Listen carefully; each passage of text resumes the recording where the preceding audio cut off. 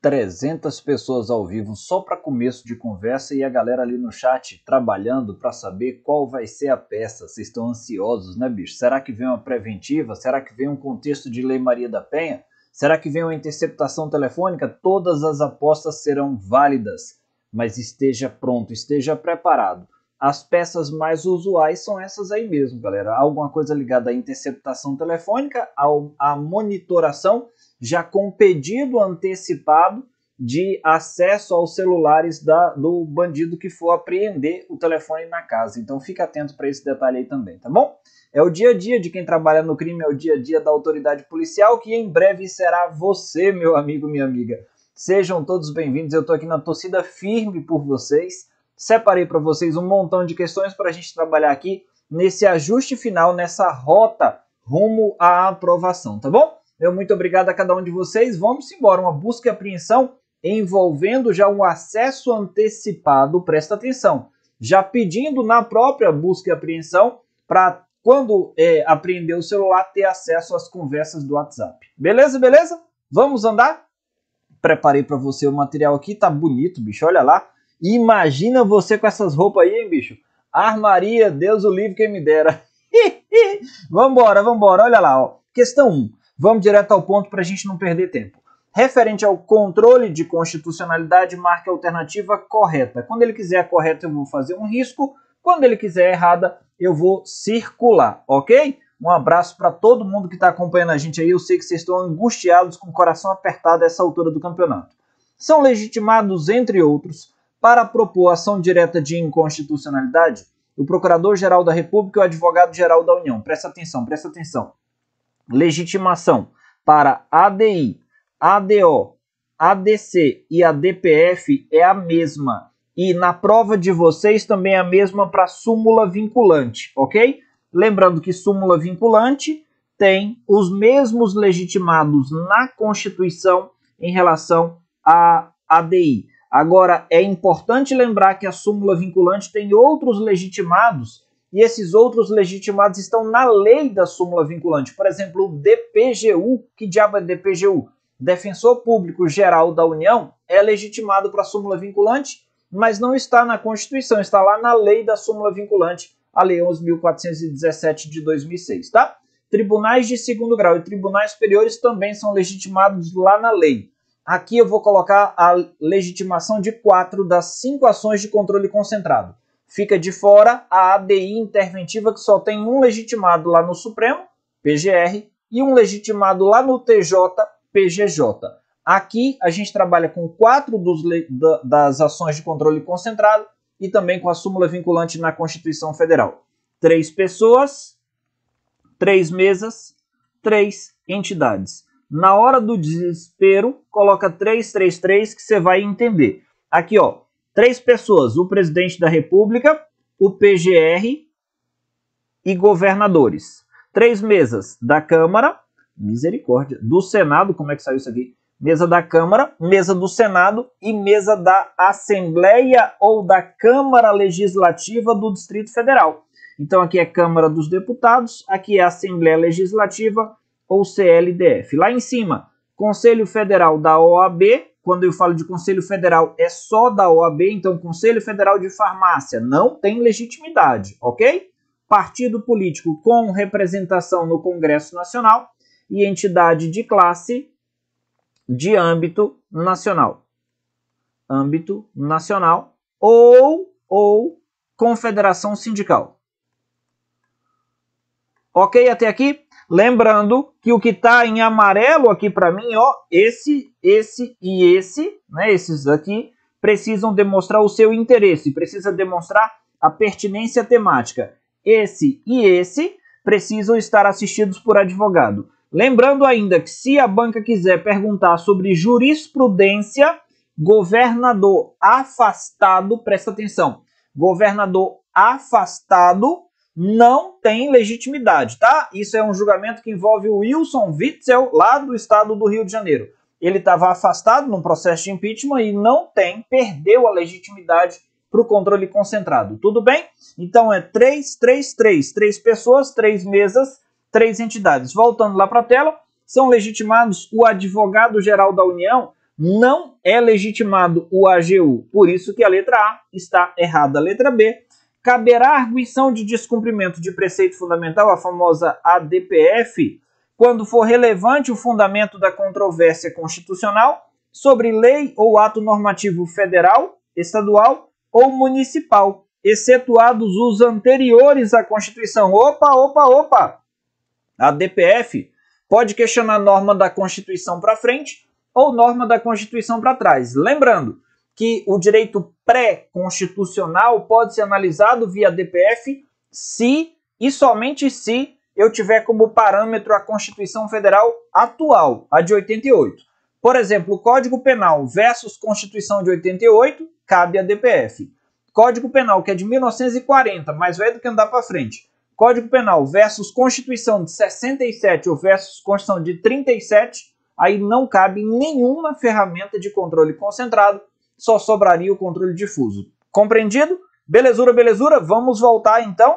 Ele está errado, a letra B, porque fala excetuados os anteriores à Constituição. Vamos embora, vamos embora. A letra A está errada, a letra B está errada, a letra C.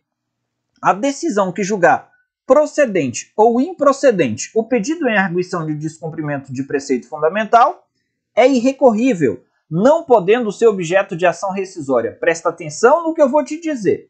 Seja a ADI, ADO, ADC ou ADPF, a decisão é irrecorrível. Não cabe rescisória, não cabe desistência, só tem um recurso que cabe contra a decisão de mérito. Só tem um recurso contra a decisão de mérito, que é a oposição de embargos de declaração. Tudo bem até aqui?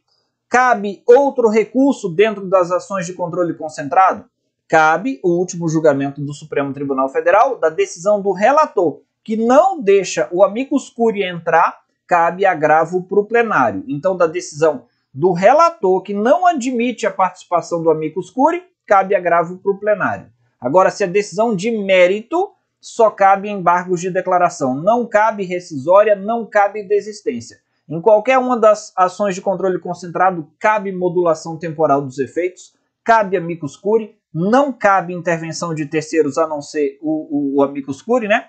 E você vai ver que cabe também a ferramenta das audiências públicas. Aqui está sendo rápido, igual coceira de coelho, para eu trazer o máximo de informações para você aí, meu filho. Lapidar os conhecimentos. Vamos comigo, vamos comigo. A decisão que julga procedente ou improcedente o pedido em ADPF é irrecorrível? Sim. Não podendo ser objeto de ação rescisória? Yes, pequeno gafanhoto. Mas professor, mas professor, não cabe rescisória? Não, pequeno gafanhoto.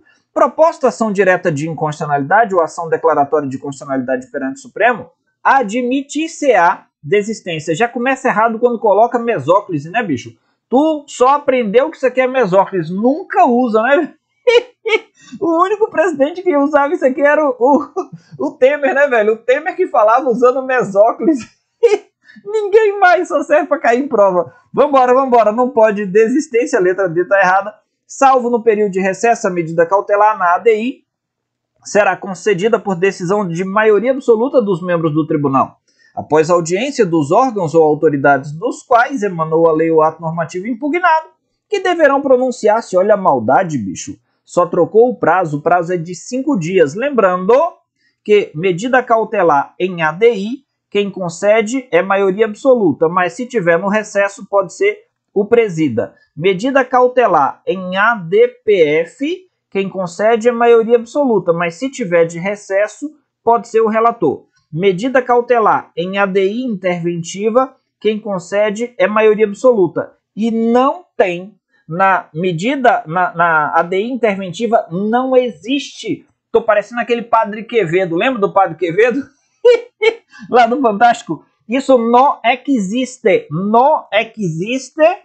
Não existe monocrática em, em relação à ADI interventiva. Belezura até aqui, senhores? Vamos embora então. Questão 1, gabarito, letra C. Acertou, miserável. Bora para 2, bora para 2. Eu quero saber de vocês. Eu quero saber de vocês.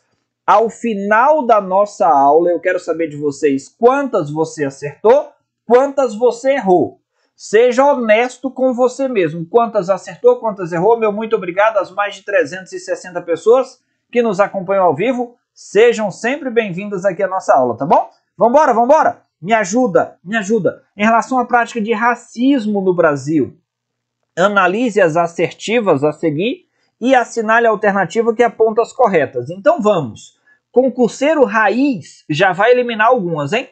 É crime imprescritível, ou seja, não sofre prescrição. Isso aqui tá certo? Isso aqui tá certo, né, meu filho? Se essa tá certa, eu vou riscar essa aqui e vou riscar essa aqui. Concurseiro raiz.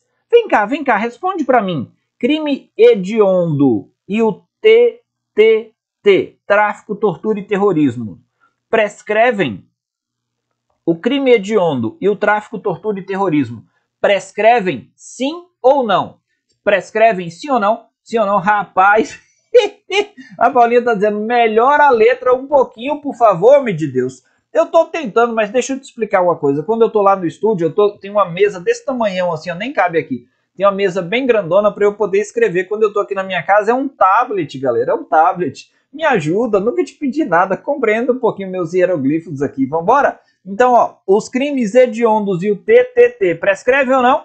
São prescritíveis, prescritíveis. Até o demônio, o diabo da Tasmânia lá, se cometer um crime hediondo, tem prescrição, né, bicho?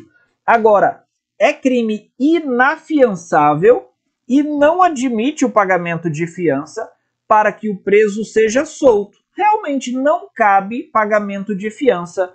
É inafiançável, insuscetível de graça e anistia, será? Será que eu posso ter graça ou anistia no crime de racismo? Responde para mim. Olha lá, o item 3, ele. Ixi, o 2 está certo, né? Se o 2 está certo, eu continuo na merda, porque as outras alternativas estão aí. O racismo é crime punível com pena de. Para, pai! Para, pai! Será que é pena de detenção? Para com isso! Larga de feiura! É pena de reclusão que é mais grave. Reclusão que é mais grave aí, ó, ó, ó, ó. Errou, Errou. Já sei a resposta, hein? Já sei a resposta. Vamos embora, vamos embora. Constitui crime de racismo comerciar livros fazendo apologia a ideias preconceituosas, de, preconceituosas e discriminatórias contra a comunidade judaica. Questão 2, o gabarito é letra B. Eu tenho uma pergunta para fazer para você.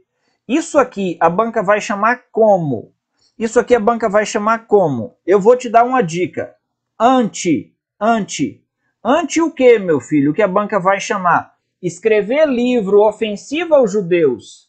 É anti o que, meu filho? Anti o que? Lembrando aos senhores que também configura o crime de racismo as práticas de homofobia e de transfobia, segundo o julgamento do Supremo Tribunal Federal, na ADO número 26. Oxe, professor, pode fazer isso? Pode fazer isso? Rapaz, tanto pode que esse julgamento aqui é de 2019 e esse julgamento que está perguntando para vocês é de 2004. A galera tá acertando aí, hein?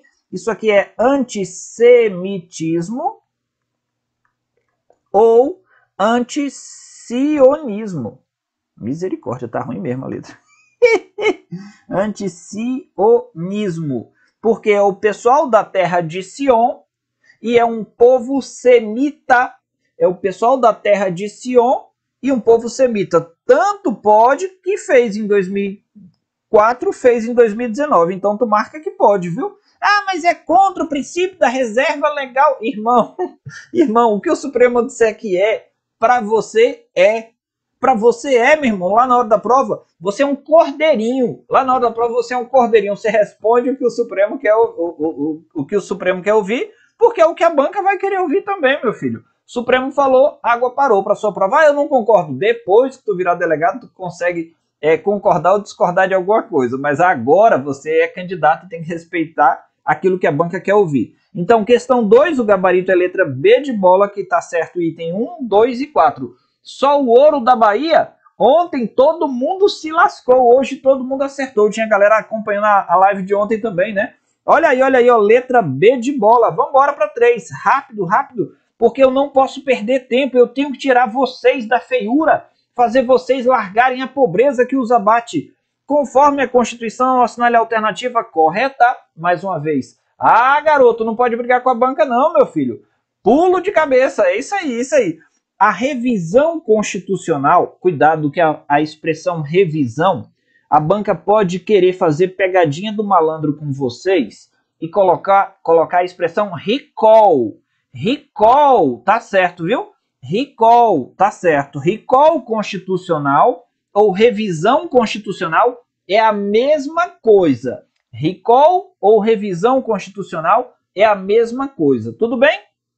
Então vamos. A revisão constitucional será realizada após cinco anos, contados da promulgação da Constituição, pelo voto da maioria absoluta dos membros do Congresso Nacional, em sessão unicameral. Ei, tá certa a letra A aqui, meu filho? Me ajuda, me ajuda, tá certa a letra A? A revisão, o recall constitucional, realmente é sessão unicameral? Realmente é maioria absoluta? Sim ou não? Sim ou não? É um turno, chama emenda constitucional de revisão. Um turno, sessão unicameral e só precisava de aprovação de maioria absoluta. É diferente das emendas à Constituição que a gente vê pularem toda hora. Dois turnos, cada casa do Congresso Nacional, aprovação pelo quórum qualificado de 3 quintos dos votos. A letra A tá certa. Eu não sei você, mas quando eu fazia a prova e a resposta parecia estar tá na letra A, eu ficava desconfiado igual o cachorro na canoa. Já viu o cachorro na canoa? Ficava desconfiado igual o cachorro na canoa e ia ler as outras, né, meu filho? Vamos lá, vamos lá. A Constituição pode ser emendada mediante proposta de mais da metade das assembleias, ok manifestando-se cada uma delas com pelo menos um terço negativo, cada uma delas com maioria simples, que pode aparecer na sua prova, também com maioria relativa de votos. Vamos para a letra C, a B não é. A matéria constante em é, proposta de emenda rejeitada ou havida por prejudicada não pode ser objeto de nova proposta na mesma sessão legislativa. Sessão legislativa. Lembrando, que isso configura a chamada irrepetibilidade absoluta. Senhores, a irrepetibilidade absoluta vale para a emenda à Constituição e também vale para a medida provisória. A irrepetibilidade, no caso das leis ordinárias, ordinária, compadre Washington, a irrepetibilidade, no caso de leis ordinárias e de leis complementares, a irrepetibilidade, nesse caso, é apenas relativa pode ser reapresentado desde que desde que pode ser reapresentado desde que seja com maioria absoluta de qualquer das casas. Em se tratando de emenda ou de medida provisória, a irrepetibilidade é absoluta, não pode ser reapresentado na mesma sessão legislativa e ponto final. Então vamos lá, porque também está errada a letra C. Letra D compete privativamente ao Senado proceder à tomada de contas. Presta atenção, tomada de contas é tomar força. Quando o presidente não prestou as contas ao Congresso Nacional. Quando o presidente não presta contas ao Congresso, quem vai tomar as contas dele? Quem vai tomar é a Câmara dos Deputados, está lá no artigo 51, inciso 2. Fora do jogo, out of service. Gostou do meu inglês? out of service, a letra D. Os deputados e senadores não poderão, desde a expedição do diploma, ser proprietários, controladores ou diretores de empresa que goze em favor de favor decorrente de contrato de pessoa jurídica de direito público. Opa, opa, opa, eles não podem realmente, mas não podem desde a posse miserento. Não é a letra E. Questão 3, letra A, de acertou miserável. Vambora, vambora, porque aqui é o seguinte, não dá para perder tempo eu tenho que te ajudar a sair da pobreza, a largar a feiura. Vamos lá que a nação nerd vai dominar o mundo. É o seguinte, é o seguinte. Meu filho chegou aqui em casa reclamando, papai, lá na escola me chamaram de nerd, estavam me sacaneando porque eu era nerd. Se você tem filho, preste atenção no que eu falei para ele. Falei, cara, aqui dentro dessa casa a gente tem orgulho de ser nerd. Se o papai não fosse nerd, você tava até hoje ferrado lá, morando, lascado na periferia, cara. Aqui é orgulho nerd na veia, viu? Então, quando alguém te falar que você é nerd, se orgulhe disso. Fala assim, sou mesmo, com muito orgulho, papai falou. papai gafanhoto. Vamos embora. Questão 3, gabarito letra A. Coloca aí orgulho nerd, meu filho, no chat. Mais de 400 pessoas acompanhando. O número tá só subindo. Armaria, armaria. Cuidado que a banca gosta de Ministério Público, hein? Cuidado porque a banca gosta de Ministério Público. Fique atento. Olha lá. Sobre as disposições constitucionais acerca do Ministério Público e de seus membros, assinale a alternativa correta. Então vamos. A letra A fala bem assim, ó. O Ministério Público abrange, quando fala o apenas, o somente, o jamais, o sempre, você já fica com a orelha em pé, né, bicho? É o seguinte, ó. O Ministério Público abrange apenas o Ministério Público Federal e os Ministérios Públicos dos Estados. Não, é o seguinte, é o seguinte, ó. Nós temos, a bem da verdade, o Ministério Público, eu já vou aproveitar para tratar com vocês outro assunto, tá? Eu tenho o Ministério Público da União, tenho o Ministério Público dos Estados e tenho o Ministério Público de Contas, que ele é diferentão. Então vamos aqui, o Ministério Público da União tem quatro ramos: MP Federal, MP do Trabalho, MP Militar e o MP do Distrito Federal e Territórios. Ok?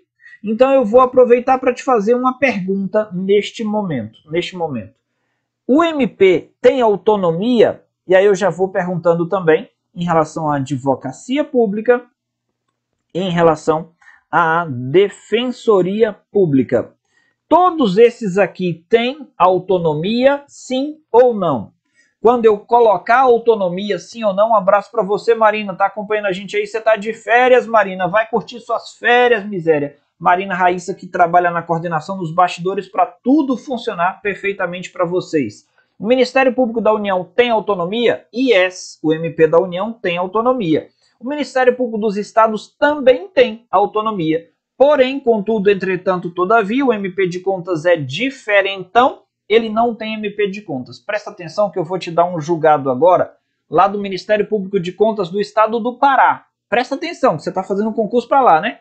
Presta atenção, olha o que, que aconteceu. O Ministério Público de Contas estava sem o procurador de contas. O nome do cargo é, do cara é procurador de contas. A gente foge das contas e o cara procura. O procurador de contas não tinha. E aí o Ministério Público de Contas pegou emprestado um membro do Ministério Público Estadual, sacou? Um membro do MPE. Falou assim, bicho, tu não quer vir para cá passar uma temporada, ajudar a gente aqui que nós estamos sem o procurador de contas? Me ajuda? E aí, pode ou não?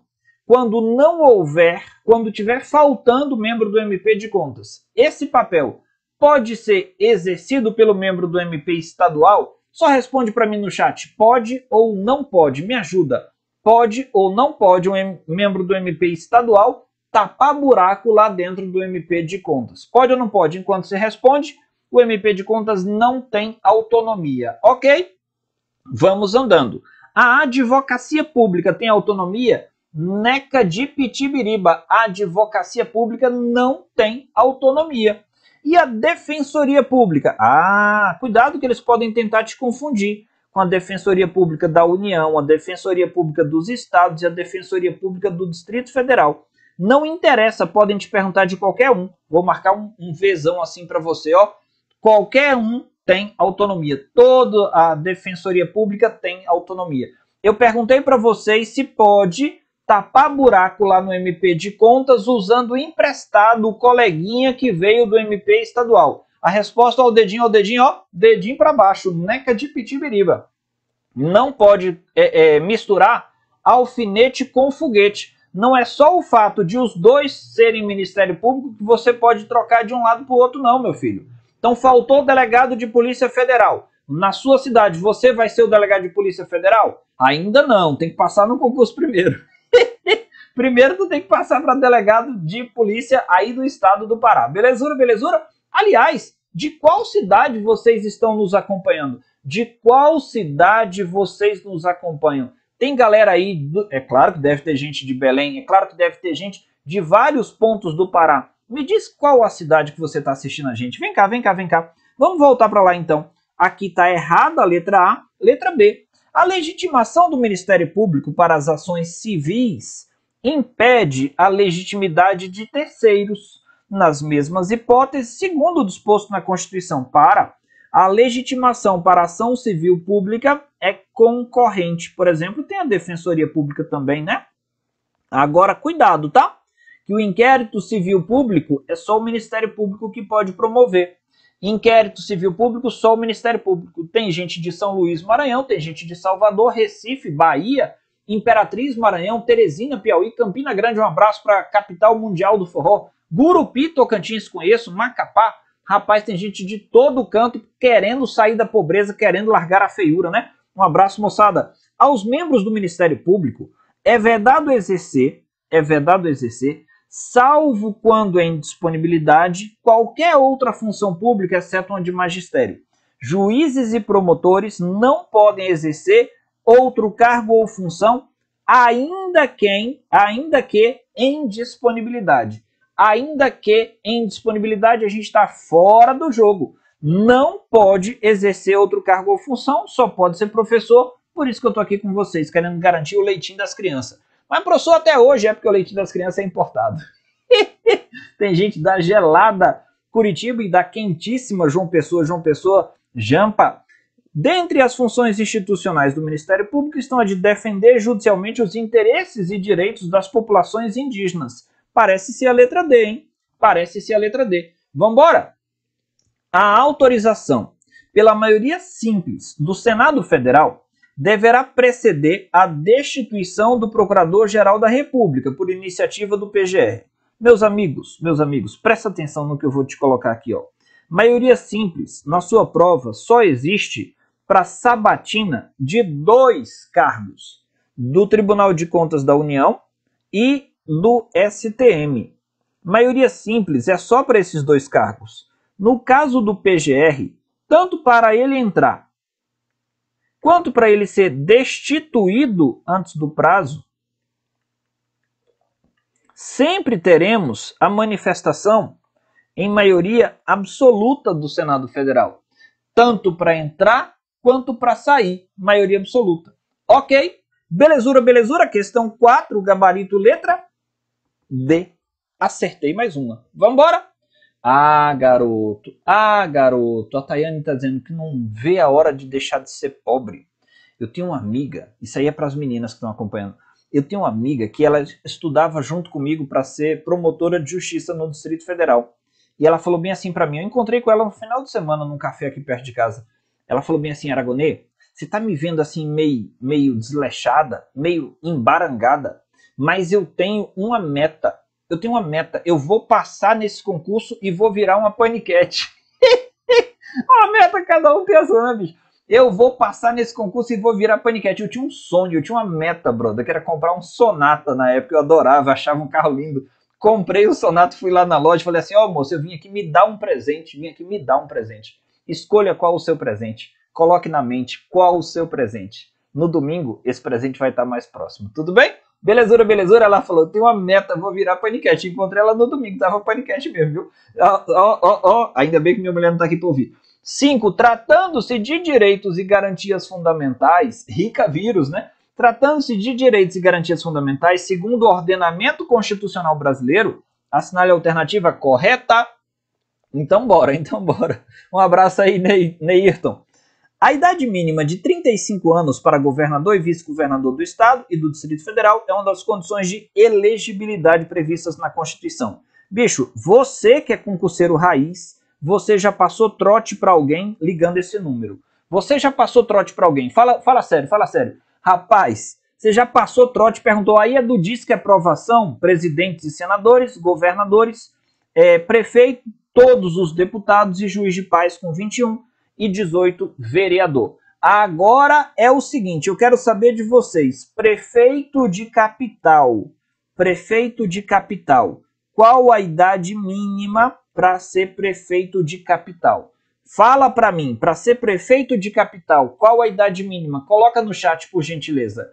Prefeito de capital, qual a idade mínima, galera? Enquanto você responde, a letra A está fora do jogo, porque a idade mínima para ser governador é de 30 anos. O mandado de segurança coletivo pode ser impetrado por partido político, ainda que sem representação no Congresso. Para, né? Para. Essa aqui tá fácil. Precisa de ter representação no Congresso Nacional. Ó, perguntei para você.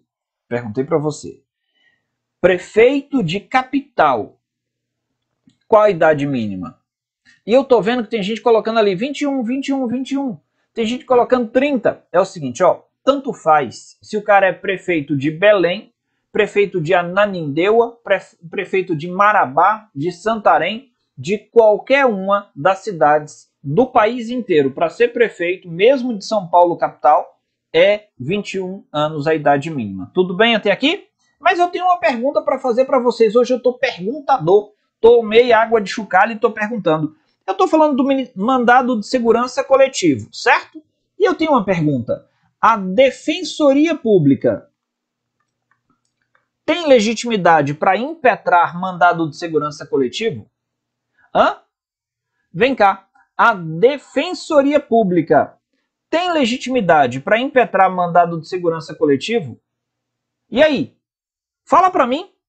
Nunca te pedi nada. A Defensoria Pública tem legitimidade? O Flávio Marcel tá rindo ali com a história do prefeito de capital, né, bicho? Isso aí tem caído em prova, viu? A galera faz de sacanagem. Prefeito de capital. Ok? Letra C. Para fins de reconhecimento da nacionalidade brasileira, a Constituição Federal considera tanto o ius solis quanto o ius sanguinis. Qual é a regra no nosso país, hein, meu filho? Qual é a regra no nosso país? A regra no nosso país é a ius solis, né, velho? A regra no nosso país é ius solis. Pode até ser, pode até ser adotado ius sanguinis, mas o ius sanguinis não é puro. Ius sanguinis é desde que é associado a outro critério. A gente adota ius solis com exceções. Critério territorial temperado, que chama. A gente adota o critério sanguíneo, é, é nascido no exterior de pai ou mãe brasileira, desde que seja registrado na repartição brasileira competente. Ou então, desde que qualquer um dos pais esteja a serviço do país. Ou então, desde que venha residir no Brasil e optem é, a qualquer tempo após a maioridade pela nacionalidade brasileira. Repare que sempre tem um desde que, ok? A letra C está certa, né, meu filho? Para fins de reconhecimento da nacionalidade brasileira, considera tanto o ius solis quanto o ius sanguinis. Eu perguntei para você, a letra C é a resposta certa. Eu perguntei para você agora se a Defensoria Pública pode entrar com mandado de segurança coletivo e a resposta é não. A resposta é não. A Defensoria Pública não pode entrar com mandado de segurança coletivo. Agora que eu já perguntei, eu vou na maldade, eu vou na jugular. A Defensoria Pública, olha o dedo, ó, não pode entrar com mandado de segurança coletivo. Então eu vou perguntar: e o Ministério Público? O Ministério Público pode entrar com mandado de segurança coletivo? Entenderam a pergunta? O Ministério Público pode entrar com mandado de segurança coletivo? Me ajuda. Enquanto você responde para mim, eu vou para a letra D. Os direitos e garantias expressos na Constituição excluem outros decorrentes do regime e dos princípios por ela adotados, ou dos tratados internacionais em que a República Federativa do Brasil seja parte. Os direitos e garantias expressos na Constituição excluem outros? Não, artigo 5 parágrafo 2 da Constituição. A gente admite que venham outros. E ali a galera tá dizendo bem assim, ó, ó, ó, ó. A Paty Soares falou não, não também Amanda. O Lucas falou não, só HC coletivo. É isso aí, galera. Vocês me enchem de orgulho. Olha lá, ó. Nem o Ministério Público, nem a Defensoria Pública podem entrar com mandado de segurança coletivo. Porém, os dois, Ministério Público e Defensoria Pública, têm legitimidade, os dois, tanto para o habeas corpus coletivo quanto para o MI coletivo. A legitimação do HC coletivo é a mesma do MI coletivo. Então são quatro legitimados: partido político com representação no Congresso, é, é, sindicatos, entidades de classe e também associações legalmente constituídas e em funcionamento há mais de um ano, Ministério Público e Defensoria Pública. não sei se você ouviu um barulho, minha filha deve estar quebrando a casa. Fazer aula de home office é sempre um desafio, né, velho? Fazer aula de home office é sempre um desafio. Os meninos destruindo tudo ali. Band de satanás. vambora, aqui os Grêmio estão que estão hoje. Vambora, vambora. Letra D tá errada, letra E. É a todos assegurado, mediante o pagamento das respectivas taxas, o direito de petição. Para, para. Direito de petição. e direito de certidão. Rapaz, quando eu vou dar aula, eu falo assim: Ô, oh, seus bandicão, vocês não podem fazer barulho, não. São 0800 para todos. Direito de petição e direito de certidão são 0800 para todos, beleza?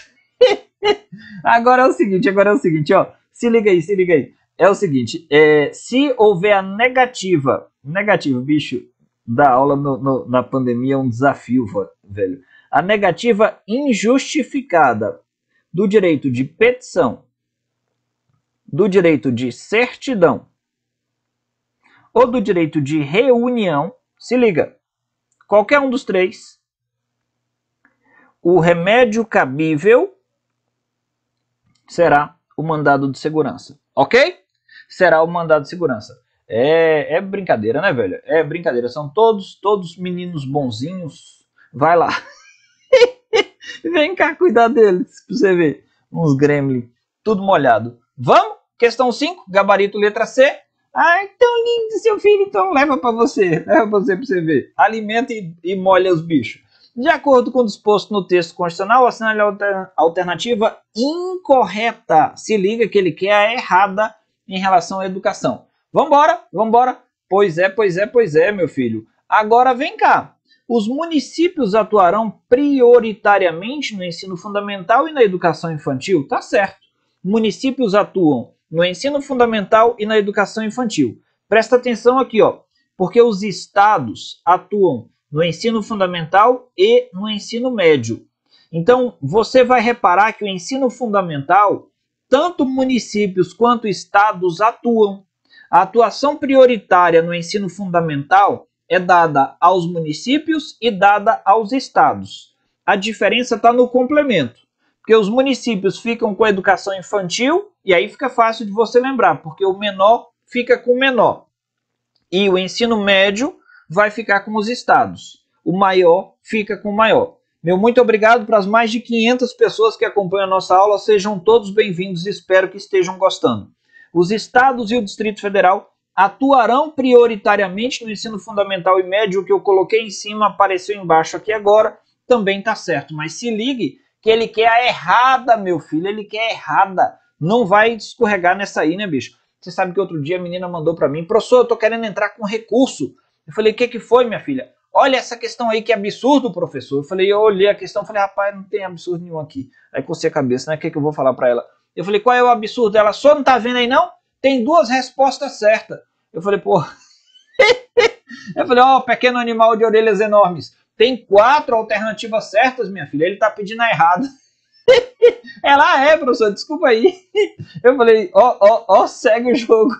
Segue o jogo, vá, não pegou nada o não oferecimento do ensino obrigatório pelo poder público ou a sua oferta irregular importa responsabilidade da autoridade competente? Sim, importa responsabilidade, importa responsabilidade da autoridade competente. Aqui é importante você lembrar que em matéria de educação, o que que entra dentro do mínimo existencial segundo o Supremo Tribunal Federal?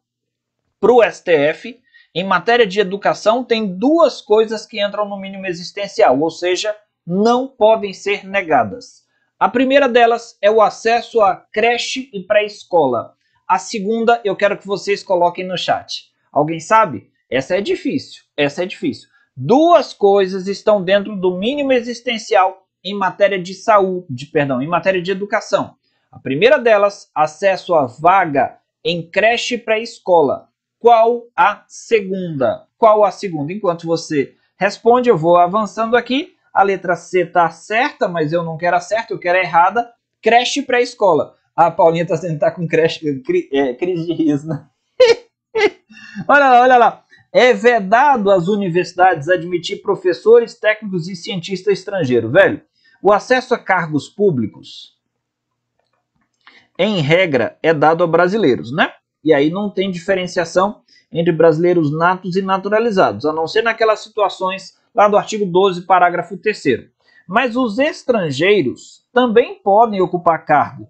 Eles podem ocupar cargo PTC, PTC. Ah, professor, o que é PTC? Partido Trabalhista Cristão?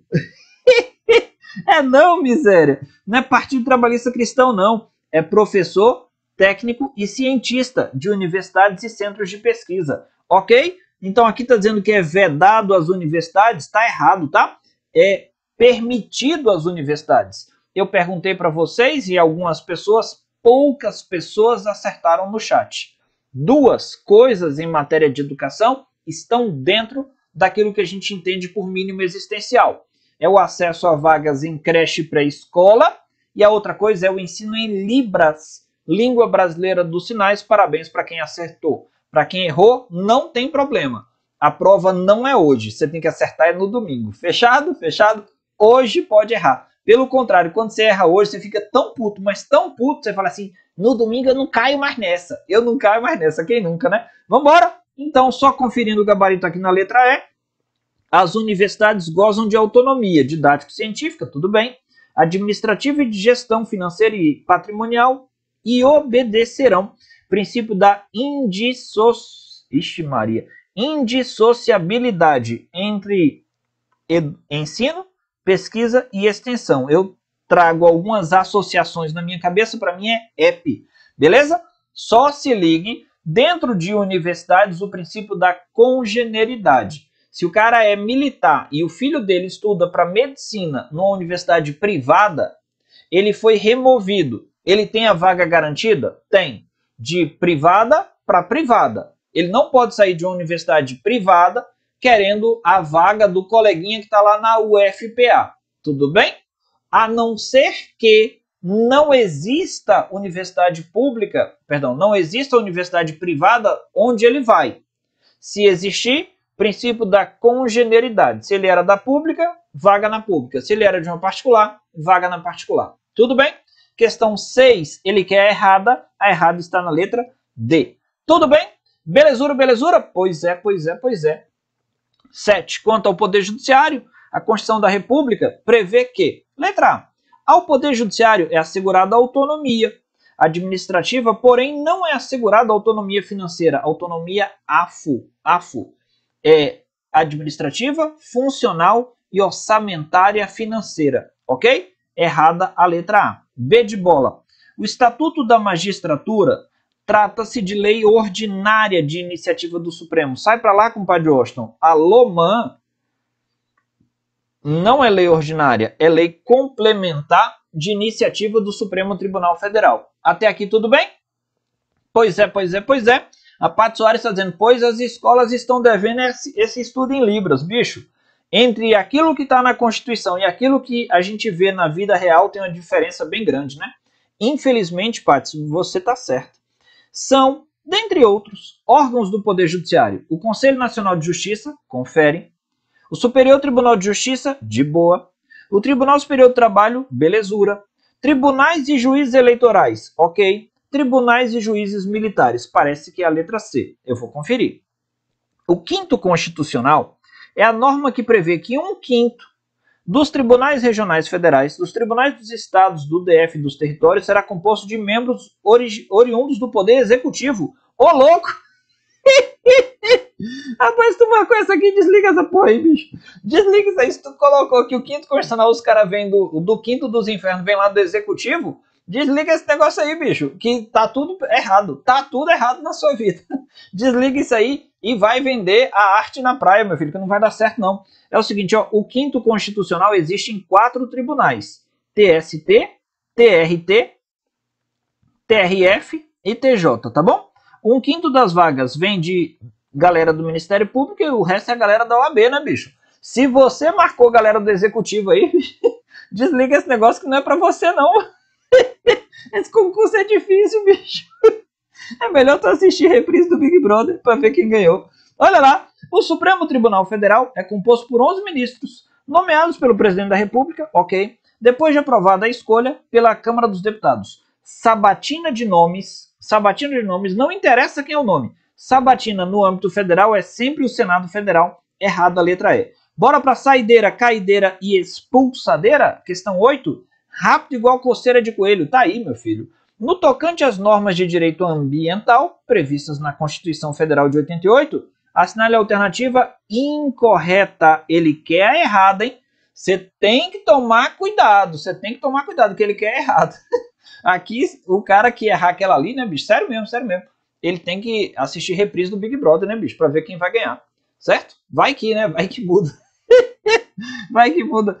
Tem a versão B. Compete à União, aos estados e ao DF legislar concorrentemente sobre florestas, caça, pesca, fauna, conservação da natureza, defesa do solo e dos recursos naturais, proteção ao meio ambiente e controle da poluição. Olha para mim, olha para mim. O item tá certo, tá?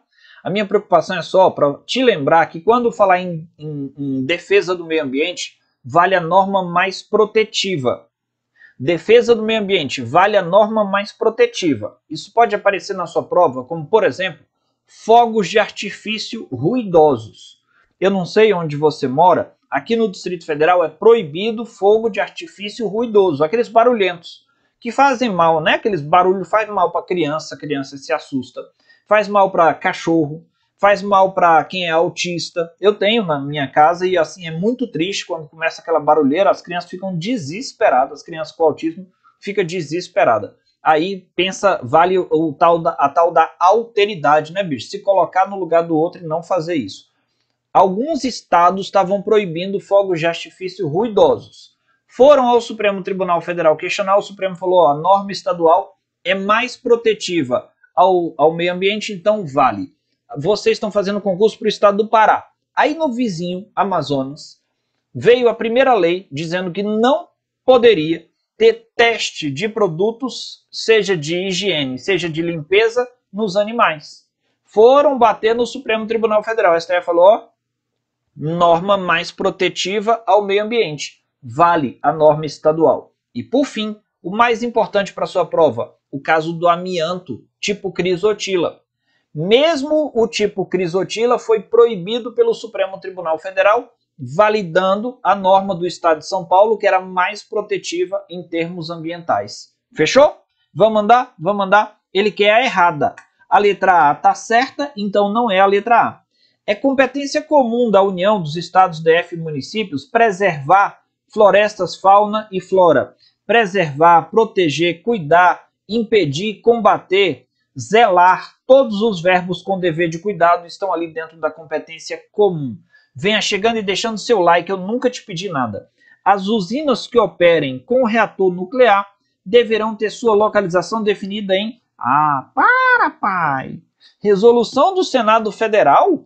Bicho, não, não faz isso comigo, não. É tudo fixado em lei federal. Ele quer errada, meu amigo. Se ele quer errada, você achou a errada não é em resolução do Senado Federal, é em lei federal. Basta você lembrar de Angra 1, Angra 2 e Angra 3 que está construindo desde o tempo que eu estava no ensino fundamental. Aquele que explorar recursos minerais fica obrigado a recuperar o meio ambiente, degradado de acordo com a solução técnica exigida pelo órgão competente na forma da lei, ok?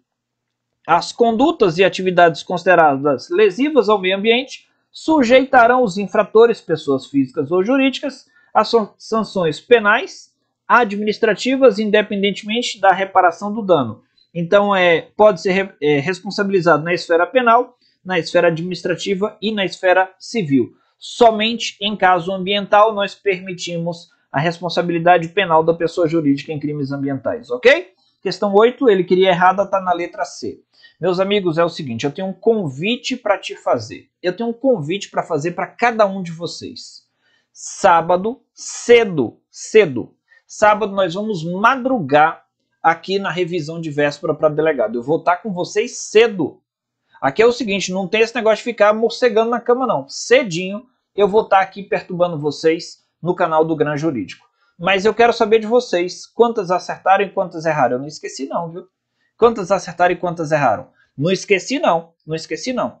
Eu quero te perguntar quantas você errou e quero te fazer o convite. Responde para mim, você vai estar comigo no sábado cedo? Vamos, vamos? Sábado cedinho para aparar todas as arestas e garantir que você seja aprovado e empossado no cargo de delegado do estado do Pará. Delta, que é uma das atribuições mais desejadas pela nação concurseira.